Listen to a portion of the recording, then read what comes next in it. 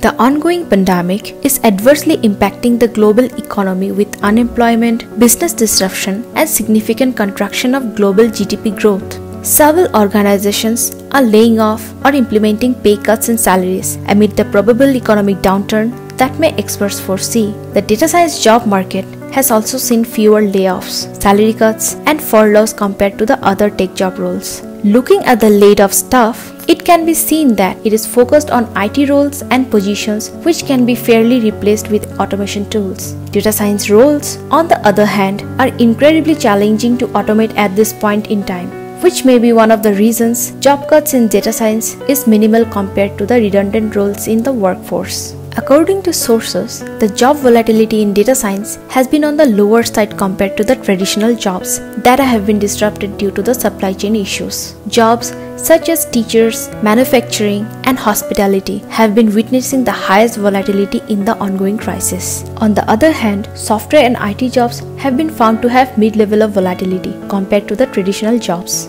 However, different sectors have different conditions, including types of businesses, geographies, supply and demand for human resources, and others such. So the impact is going to be different in each case, be it the IT sector or FMCG, industrials or domestic banking. And if we look at how Indian IT industries have performed in the last 5 years, the tech sector is expected to stay strong, bearing some overvalued startups and legacy IT companies. So what makes data science jobs safer during the recession? Analytics is going to be very crucial at the times of recession for optimizing cost and reducing wastage of resources. According to some sources, 2020 could see rising in demand in AI jobs, given AI applications are being deployed extensively by healthcare providers, educational institutions, and government agencies. Here, data scientists would play a critical role in getting the best of automated systems that throw out the chunks of data. The findings from one of our surveys reveal that the entire analytics community is able to work from home. Moreover, while analytics professionals are working from home, they they have access to the required tools and platforms to execute their tasks and responsibilities. Most of the respondents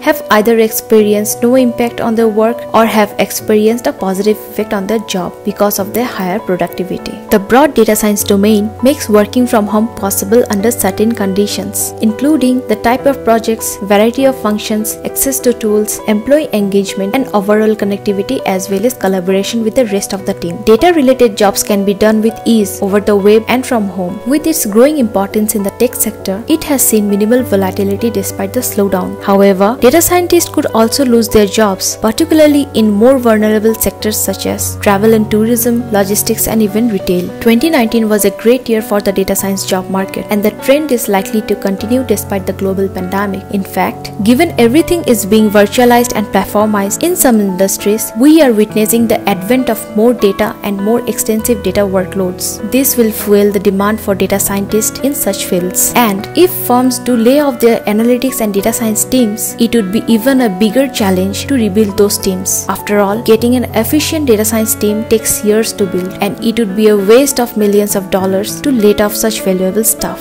To know more about data science and machine learning, visit www.analyticsindiamag.com.